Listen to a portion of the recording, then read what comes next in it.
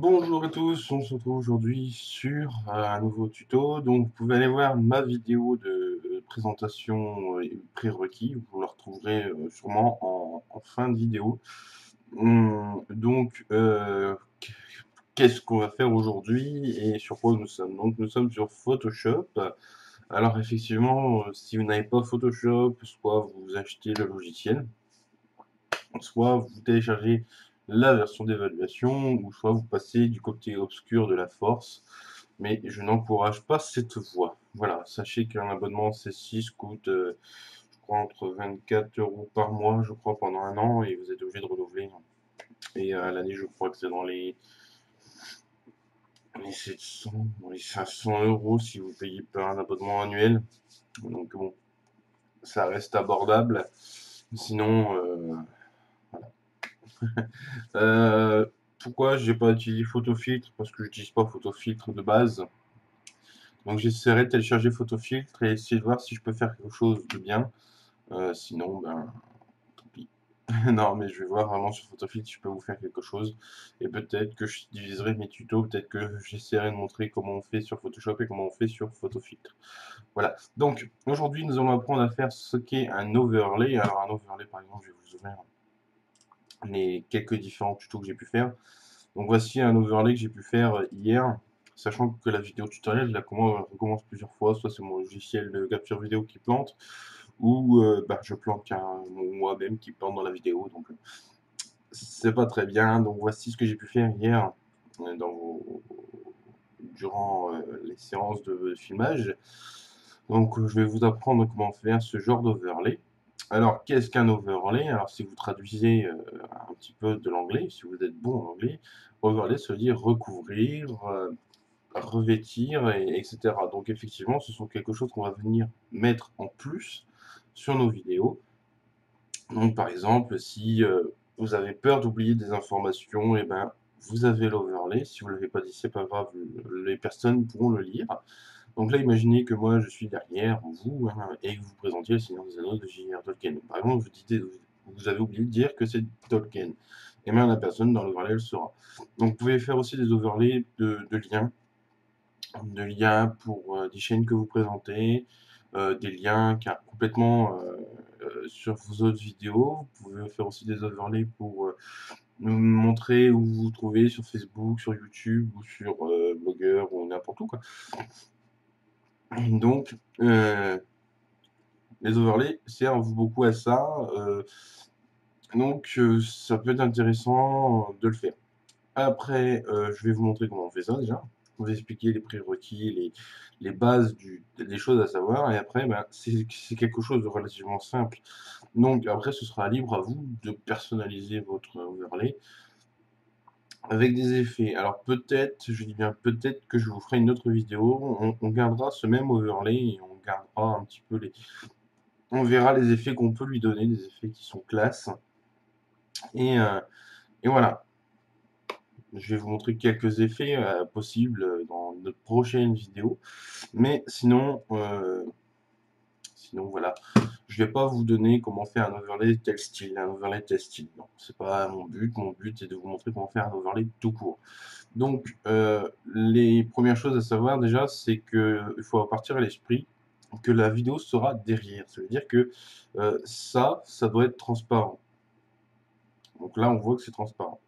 Donc, quand vous allez créer un nouveau fichier, moi je fais CTRL N, vous mettez overlay. Moi je mets tuto 3 parce que à chaque fois je recommence.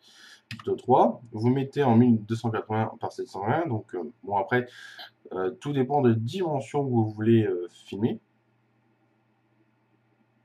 Hein, ça dépend de la dimension de vos vidéos, mais très peu de gens regardent au-delà de...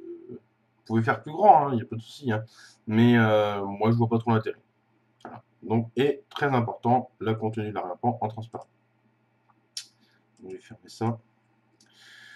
Donc, à partir de là, on a un espace de travail qui s'est ouvert, une feuille blanche, une feuille transparente plutôt, et nous avons un calque qui est apparu ici, qui s'appelle 1. Nous avons notre tablette de travail ici, et dès qu'on clique sur un truc, on a les options de l'outil qu'on veut utiliser. Ici, bon, à vrai dire, euh, on n'a pas vraiment besoin. Et là, on va pas, on va pas trop les utiliser. C'est assez, assez spécifique. Par contre, on risque de se servir de ça, de ces, opacités. Euh, on va peut-être changer peut-être le mode de fusion, le mode du calque, mais bon, euh, pour aujourd'hui, on ne va pas les utiliser. Et votre arbre à calque ici, qui sera très important. Donc, à partir de là, vous cliquez ici, vous double-cliquez complètement sur calque 1, et vous mettez transparent. Alors, pourquoi je nomme mes calques? Simplement le fait que si vous nommez vos calques, vous vous retrouverez beaucoup plus facilement que quelqu'un de 3, 4, 5, 6, 7, 8, 9, 10. Sachant que si vous n'avez pas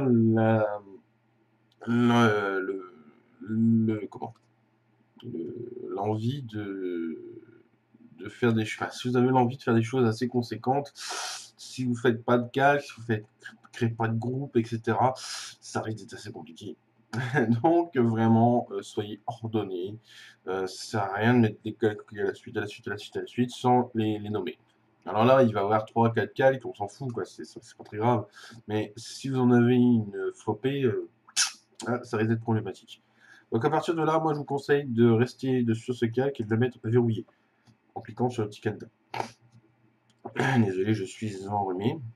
Donc, pendant l'été, je suis enrhumé, mais bon, vous avez vu que l'été n'est pas forcément très beau. Donc, vous verrouillez le calque pour une simple et bonne raison, c'est que là, actuellement, on est transparent. Et moi, nous, on veut rester transparent. Ça veut dire que si vous venez euh, mettre un coup de pinceau et qu'il est blanc, bah, alors concrètement il est blanc, bah, vous ne le verrez pas, vous ne le verrez peut-être que quand vous montrez votre vidéo et que vous verrez une tache blanche et ben, sur, euh, sur votre euh, vidéo. Alors après, il y en a qui vont dire, oui, tu aurais pu la mettre en noir, et comme ça, moi, tu l'aurais vu, c'est vrai. Mais voilà, moi, c'est l'astuce que je vous donne. Après, libre à vous de la suivre ou pas. Donc, maintenant, on va faire un nouveau calque. Donc, je ne vais pas vous apprendre à aller chercher euh, calque, nouveau, machin, ça sert à rien. On va prendre directement les raccourcis. Donc, vous mettez majuscule, contrôle, N. Ça va vous créer un nouveau calque. Ce calque, vous allez le renommer, vous allez mettre cadre. Donc, sans couleur, en mode normal, opacité 100. On ne change pas, on fait OK. il se crée au-dessus. Il est important qu'il soit au-dessus, parce que s'il est en dessous, ça risque d'être problématique. Ah, ça va pas être problématique, mais euh, euh, c'est mieux. Voilà. Là, actuellement, ça n'a pas l'incident, mais euh, si vous avez, par exemple, je sais pas, vous voulez mettre un intro avec un, beau cadre et dedans vous mettez vos vidéos précédentes, comme vous aurez à la fin de la vidéo, si c'est en dessous, c'est mort. En fait, on verra d'abord votre vidéo et euh, derrière le, le, cadre que vous avez fait. Donc, euh. Donc, vous mettez cadre et là, vous allez dans l'outil de sélection. Donc, si vous n'avez pas, et eh ben, vous allez, euh, de toute façon, ce sera le premier que vous avez. Si, vous, par exemple, vous n'avez pas d'outil, ben, par exemple, vous cherchez, vous faites clic droit ici et vous avez les autres outils qui sont disponibles. Moi, je vais rester sur rectangle outil de, euh, de sélection. Voilà, je vais faire un rectangle comme ça. Voilà, je reste sélectionné, je vais dans l'outil pot de peinture. Si vous n'avez pas, allez dans outils dégradé. Donc vous faites sur outils dégradé, vous faites clic droit, pot de peinture. Et vous allez le mettre en violet. Bah, après, c'est libre vous de faire ce que vous voulez. Vous pouvez le mettre en vert, vous pouvez le mettre en bleu, vous pouvez le mettre en noir, vous pouvez le mettre en rouge pouvez mettre en fluo si vous voulez, mais voilà. Donc là, à partir de là, je vais venir désélectionner ma sélection. Désélectionner. Et je vais venir placer ça ici. Voilà. Donc mon cadre là actuellement il n'est pas très beau, il est pas machin, il est ça il n'est pas très bon. Mais bon, hein, on va pas non plus aller chercher midi à 14.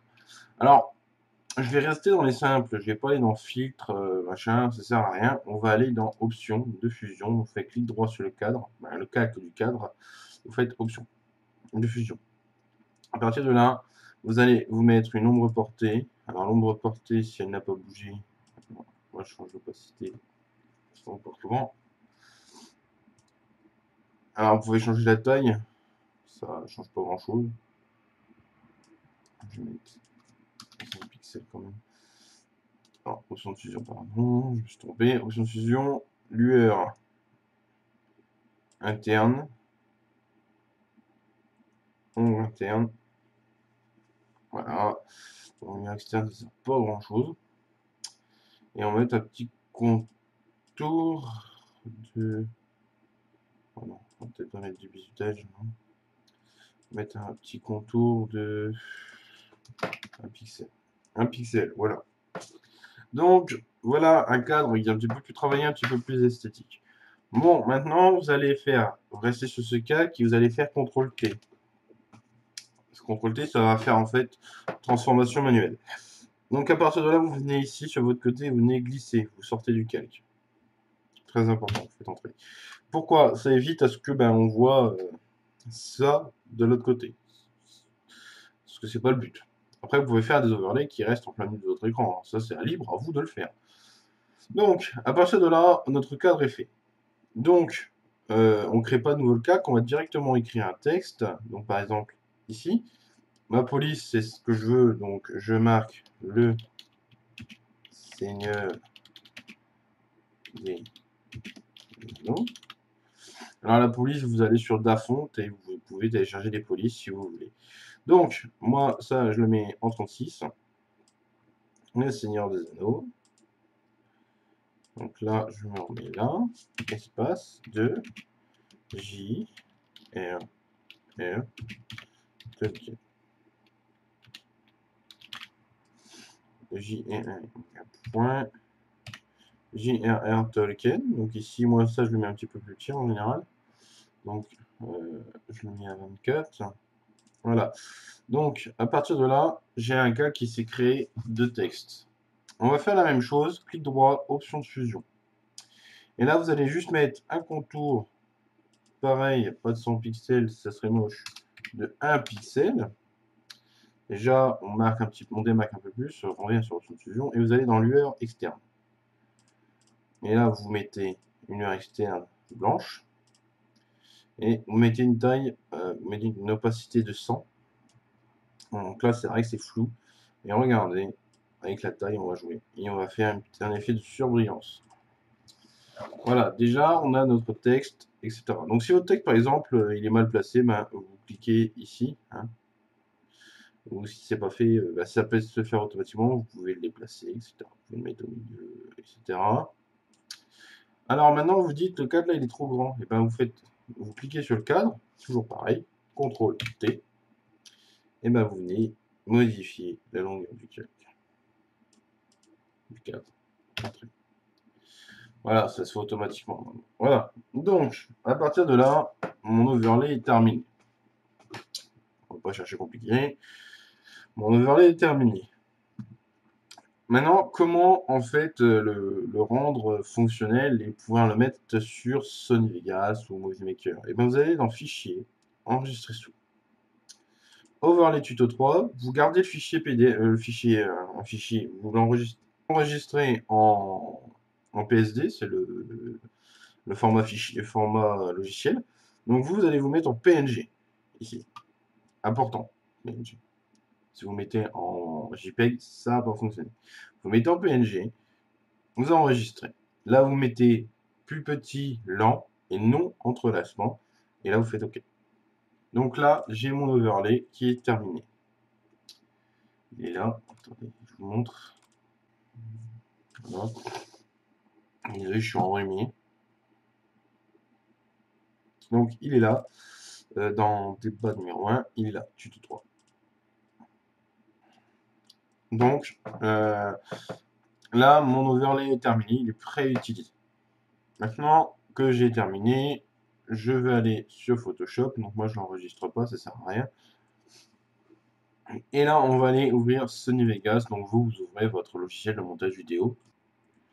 Voilà, donc on a mon logiciel de montage vidéo qui est Sony Vegas. À partir de là, moi, je vais aller chercher une petite vidéo très sympathique. Oui, sympathique, on va dire. Euh, non, ça, ça c'est mes vidéos, documents, chaîne, Microsoft, par exemple. Ici. Bon, je glisse ma vidéo, oui. Donc là, je vais réduire, ça tout ça. Voilà, et ça, je décolle vers le bas. Très important. Donc après, on va, euh, on va aller chercher notre overlay. Donc, euh, qui est là. Et on va venir le mettre ici. Donc là, je simule que je le mets un petit peu plus euh, en retrait. Voilà. Donc à partir de là, eh ben, si je mets ma prévisualisation, vous voyez que c'est flou, c'est normal, vous inquiétez pas.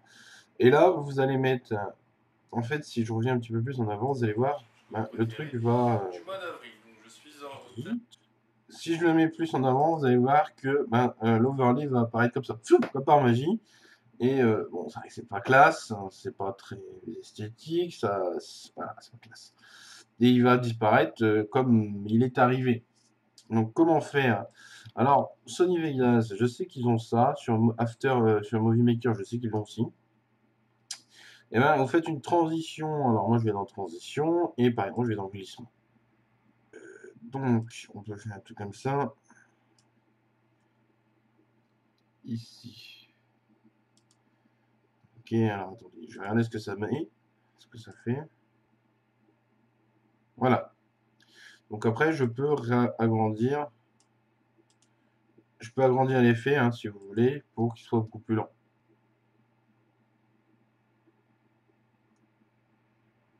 Voilà. Et je peux faire la même chose. Donc là, on va faire de l'autre côté.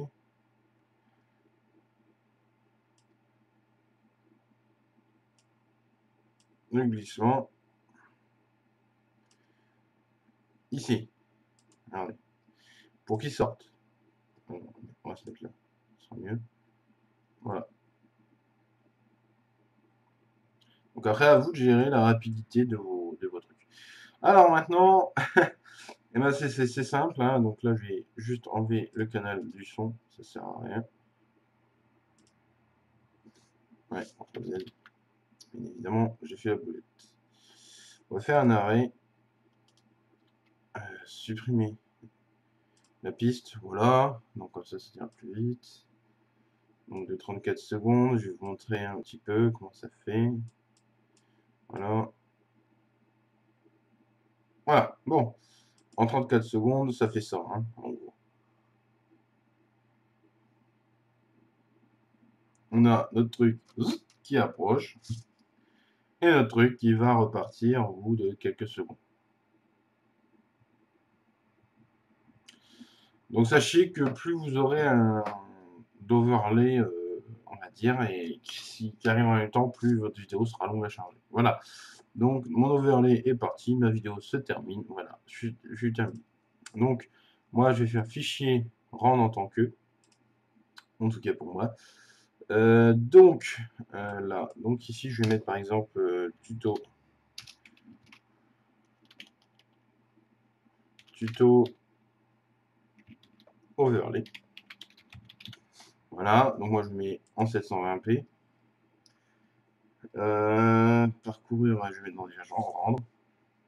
Donc là, ça va être extrêmement rapide, hein. il n'y a pas de son, il n'y a pas trop d'effet, il y a juste ça. Bon, ça va être un petit peu long quand même, mais c'est pas plus long que d'habitude. Euh, pour faire un montage comme ça, à peu près de, à peu près 10 minutes, je mets euh, entre 4 et 5 minutes de, Voilà. Donc à partir de là, je vais dans euh, mon dans mon non, pas dans mes documents, pardon, dans chaîne, Macronicole et dans Divergent et mon tuto overlay est ici. Là, le voilà. D'ailleurs, regardez. Donc là, vous avez le truc, c'est un peu dommage. Vous voyez, c'est net. Donc sur YouTube, ça un rendu net. Voilà. Donc après, ben, vous n'avez plus qu'à remettre, ben, vous n'avez plus qu'à publier sur YouTube. Voilà. Donc euh, voilà comment on fait un overlay sur, euh, sur Photoshop. Et donc, euh, j'espère que ça vous plaît. Ça vous plaît. on se retrouve très bientôt pour une autre vidéo tutoriel. Et au revoir.